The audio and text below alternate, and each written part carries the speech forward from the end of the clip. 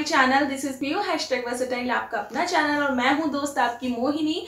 और आज मैं आपके साथ शेयर करने जा रही हूँ अपनी जन्माष्टमी की तैयारियाँ, क्योंकि कल है जन्माष्टमी तो आज ही आपके पास ये वीडियो मैं शेयर कर रही हूँ। बेसिक रीजन सिर्फ़ ये है इस वीडियो को, इस वीडियो को देखने के बाद आपको भी शायद थोड़ी बहुत हेल्प मिल जाए कि आपको जन्माष्टमी पर क्या क्या करना है और कैसे कैसे आप कैसे कैसे तैयारियाँ कर सकते हैं।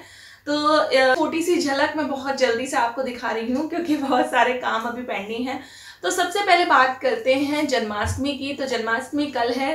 Happy Janmashtami to all of you और सबसे पहले बात करते हैं जिस जगह पे आप मंदिर बनाएँगे यहाँ जहाँ पे भी आप अपने भगवान को विराजेंगे चाहे वो आ, कोई कॉर्नर हो आपका खुद का मंदिर हो या कोई टेबल आ, आप डेकोरेट करते हैं तो उन पे आप क्या वस्त्र बिछा सकते हैं? तो ऐसा बिल्कुल भी ज़रूरी नहीं है कि आप कोई नए कपड़े ही खरीदें। आपके पास जो आप साड़ीज़ वगैरह पहनते हैं उनको यूज़ कर सकते हैं जैसे कि भगवान की चौकी पे जो आप, भगवान की चौकी पे आप जो बिछाएँगे, उसके लिए इस तरीके के जो ब्लाउज पीसीज होते हैं ना, आप उनको यूज़ कर सकते हैं। जैसे जिस साड़ी का आपने ब्लाउज नहीं बनवाया रेडीमेड पहन लिया या फिर आपके पास है ऑलरेडी मिलता जुलता तो ऐसे पीस बच जाते हैं। तो आप उनको यूज़ कर सकते हैं और ये बहुत ही सुंदर लगते हैं। तो मेरे पास इस तरीके से गोल्डन ग्रीन इस तरीके के हैं ब्लाउज पीसेज तो मैं इनको ही यूज़ करके कुछ क्रिएट करूँगी। और होते हैं ना, आप इनको भी बैकड्रॉप के लिए यूज़ कर सकते हैं। ये भी बहुत सुंदर लगते हैं। डिफरेंट डिफरेंट कलर्स के आते हैं तो आप इन्हें यूज़ कर सकते हैं अपनी थीम के अकॉर्डिंग अगर आप कोई थीम फॉलो करते हैं। तो पहली चीज़ तो ये कि आपको क्या बिछाना है तो आप आराम से उसे कर सकते हैं। दूसरी चीज़ तो जैसा कि लास्ट ईयर मैंने ये चौकी ली थी तो मैं इसी चौकी को यूज़ करूँगी। आप देख सकते हैं, बहुत ही सुंदर सी चौकी है तो आप भी अपनी वही चौकी यूज़ कर सकते हैं। ज़रूरी नहीं है कि आप हर बार न्यू चौकी लें, उन्हीं को रीयूज़ कर सकते हैं रीपेंट कर सकते हैं। तो आप अपने भगवान को आराम से उसमें विराज सकते हैं। और थर्ड तीसरी चीज़ है वो है कान्हा जी का झूला जो कि मैंने आ, मेरे पास आ, जब से मेरे कान्हा जी है तब से ही है यानी कि चार साल हो गए हैं और कैसे डेकोरेट किया है। इसका पूरा एक वीडियो जाएगा कि उसमें कैसे कैसे मैंने डेकोरेट किया है। आप देख सकते हैं ये रेड कलर का झूला था जिसपे मैंने ऑरेंज और बेबी पिंक और ग्रीन कलर के फ्लावर्स इस तरीके से लगा लिए हैं। इससे ना इसका लुक बिल्कुल डिफरेंट हो गया। पहले सिर्फ़ इतना ही था। यहाँ लगा दिया है इन पे लेस लेस लगा दी है पतली वाली। और ये बहुत खूबसूरत हो गया। यहाँ पे मैंने लेस लगा दी है, आप देख सकते हैं। जिसकी वजह से ना ये यहाँ थोड़ा सा गंदा सा हो रहा था तो यहाँ पे मैंने इसको साफ़ करके ना इस पर लेस लगा दी है तो इसका पूरा का पूरा लुक चेंज हो गया है। आप देख सकते हैं तो ज़रूरी नहीं है कि आप हर बार एक नया ही झूला लें, और अगर आप क्रिएटिव हैं और अगर कर सकते हैं तो ज़रूर एक बार करिए।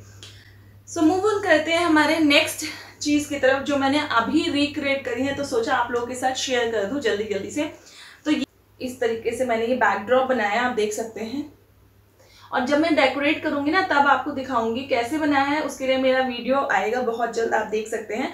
तो ये मैंने वुडन से बनाया लकड़ी से। और यहाँ पे जो वेस्ट लेसिस थी फ्लावर्स थे वेस्ट और जो भी चीज़ें आपके पास रखी होती हैं, आप उन्हें यूज़ करके आराम से इसको बना सकते हैं। बहुत ही प्यारा लगता है पिक्चर में यहाँ लगा दूँगी, आप देख लीजिएगा आराम से कि किस तरीके से मैंने बनाई है ये सारी चीज़ें। तो इससे है ना आपको एक पूरा का पूरा बैकड्रॉप मिल जाएगा। आप इसे आराम से चौकी पे रख के अपने कान्हा जी को उसमें वहाँ बिठा सकते हैं विराज सकते हैं। थोड़ा सा एक डिफरेंट सा लुक हो जाएगा।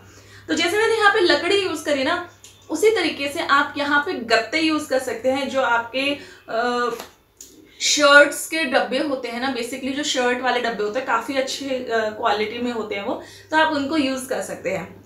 सो मूव ऑन करते हैं बैकड्रॉप तो मैंने जो अभी बैकड्रॉप बनाए हैं कुछ अभी मेरे जो कान्हा जी की ड्रेस है पिंक डार्क पिंक और उसमें सारे कलर्स हैं। तो अभी मैंने थोड़ा सा वही ध्यान में रखते हुए वो सारी चीज़ें करी हैं तो आपको दिखा देती हूँ। कैसे यूज़ करूँगी अभी कुछ आइडिया नहीं है, लेकिन हाँ मैंने कुछ चीज़ें ये अभी कर ली हैं। आप देख सकते हैं, ये ना इस तरीके से वुडन थी। लकड़ी के फ्रेम्स थे मेरे पास, और ये आप गत्ते से भी बना सकते हैं, ठीक है? फूल और इसके ऊपर लगा दिया मोती और इस तरीके से बन गया है। अब इसको कैसे क्रिएटिविटी से यूज़ करेंगे, ये तो अभी आपको देखने को मिलेगा।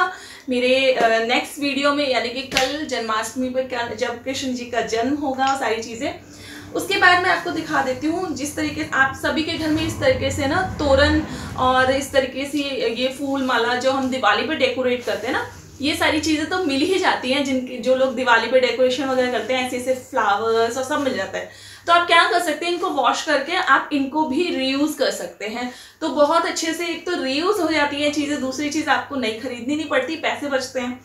तो मैंने इनमें जो फ्लावर्स और जो ये लीफ वगैरह लगाई है ना, ऐसी ही एक तोलन थी मेरे पास, मैंने उसको तोड़ के इस तरीके के फ्लावर्स और उसकी लीव्स निकाल के उसको यूज़ किया है, जो कि थोड़ी सी पुरानी हो गई थी, ख़राब सी लगती थी बट मैंने उसके लीव्स और फ्लावर्स यूज़ कर लिए लास्ट ईयर के थे ना, जो दिवाली पर डेकोरेशन के लिए थे सारा मैंने वॉश कर दिए थे। और कल हम इसे डेकोरेट करेंगे, कैसे करेंगे, वो आपको मेरे कल वाले ब्लॉग में देखने को मिलेगा। आई होप आपको डेफिनेटली मज़ा आएगा। अच्छा तो अब मैं बता देती हूँ कृष्ण जी का जन्म और कृष्ण जी की पूजा की विधि। तो ना इस तरीके से बेड क्रिएट करे थे कान्हा जी की। तो ये मेरे पास दो हैं तो मैं इसको ही यूज़ करूँगी। कान्हा जी को इस पर ही लिटाती हूँ, सुलाती हूँ। यहाँ पे मैंने एक पेपर लगा रखा है, इस पर मैं गद्दा वगैरह बिछा देती हूँ। बहुत सुंदर लगते हैं इस तरीके से। यहाँ मैंने मोरपंख का डिज़ाइन बनाया हुआ है। तो ये भी मेरी थीम के साथ बिल्कुल परफेक्ट जाएगा। तो मैं इसे भी बिल्कुल चेंज नहीं करने वाली हूँ। तो कुछ चीज़ें जो मैं बाज़ार से लेके आई थी मार्केट से लेके आई थी तुराब नगर वाला ब्लॉग अगर आपने नहीं देखा है तो मैं लिंक कर दूँगी। आप ज़रूर एक बार चेकआउट कर लीजिएगा। आपको उसमें सारी चीज़ें मिल जाएँगी जो मैं न्यू अभी लेके आई हूँ, जो मेरे पास नहीं थी।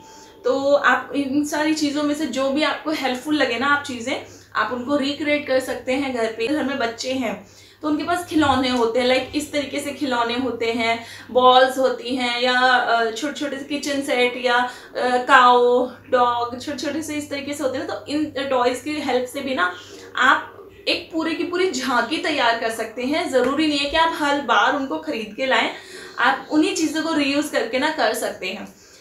सो so फ्रेंड्स कल है जन्माष्टमी तो मेरा फास्ट है, और लेकिन कल कोई खाना पीना तो बनाना नहीं होता, सुबह किचन में होती है छुट्टी। तो सबसे पहले उठ के मैं घर साफ़ करने के बाद किशन जी की चौकी, जहाँ पे किशन जी का जन्म स्थान हमें पूरा बनाना है, उनको विराजमान कराना है, वो डेकोरेट करूँगी।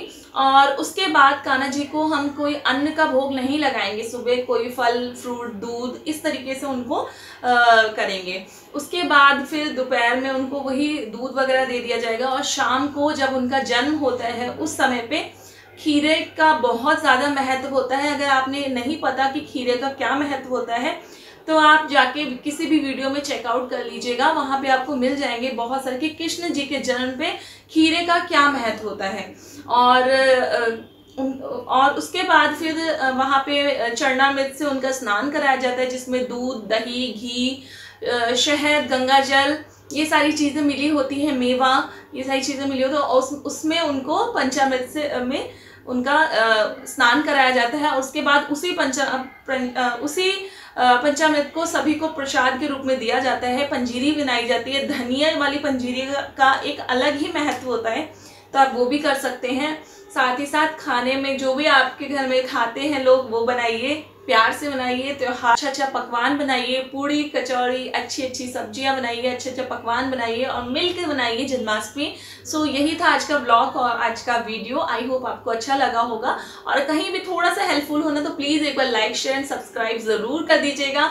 और मिलते हैं एक नए वीडियो नए ब्लॉग के साथ। कल का जो जन्माष्टमी वाला ब्लॉग है, देखना बिल्कुल मत भूलिएगा। सो तब तक के लिए बाय